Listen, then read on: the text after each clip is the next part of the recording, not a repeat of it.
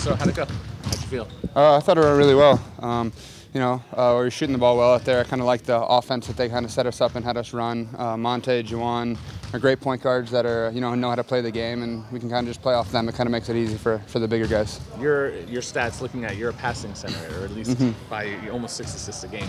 How was that the system that you were in, or is that more is that your individual skill set? Um, I mean, I've been around passing, you know, my whole life and kind of watching a lot of film. Uh, our offense does help. We run, you know, that Princeton style of offense where the uh, the center has the ball at the elbow and kind of can distribute and kind of facilitate from there. So I thought it was a it was a great system I was in in college and it kind of fit me perfectly. So along with my skill set, it kind of was a perfect match. Is there similarity? I, I we talk about centers who pass a lot. There's Draymond Green. Do, do people say that to you, or there, do you feel any similarities? Yeah, absolutely. They're uh, you know as the game NBA is evolving to more of a you know a smaller guard, you know more versatile kind of a set where you know big men have to learn how to pass the ball and have to kind of do everything. So it kind of it fits my skill set, and um, you know being able to pass and see the court um, kind of the way I do really does kind of help me and set me up well for the next level. How about spacing the floor? Do you, do you eventually have to add that three-point shot to the arsenal, or do you already have it? No, I, th- I think I have it, and I've been working a lot uh, since the end of the season. Um, I had a few, you know, nicks with my shoulder, my wrist during the season, and now I'm, I'm all good. So uh, in workouts, I've been shooting it pretty well, um, and I just got to keep building on that. The NBA, you know, three-point line, a little tougher. You have to, you know, use your legs more, but uh, I think I'm getting used to it.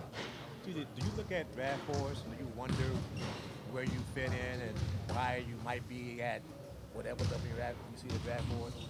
Um, I try not to pay attention to that too much. I mean, my job is to you know get in the gym every day and, and work as hard as I can. And uh, you know, uh, different teams have different systems, and different teams see different players that they want.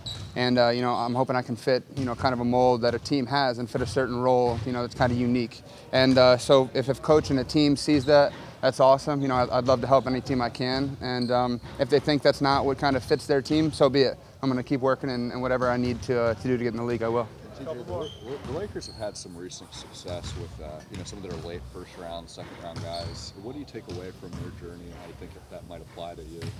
Oh, I mean, you know, they have a, a great front office here, and, and they got Magic and, and, Coach Walton leading the way, and they have a great eye for talent. And uh, you know, if they see that I fit in the system or anything like that, then you know, I'd be so lucky to be here. And uh, but they just have such a great eye for talent, and you know, if they see little things that, that different teams don't see and anything like that, that uh, that'd be a really cool experience. Did you hear a lot about Magic growing up as a player? Oh yeah, absolutely. I mean, I was watching film.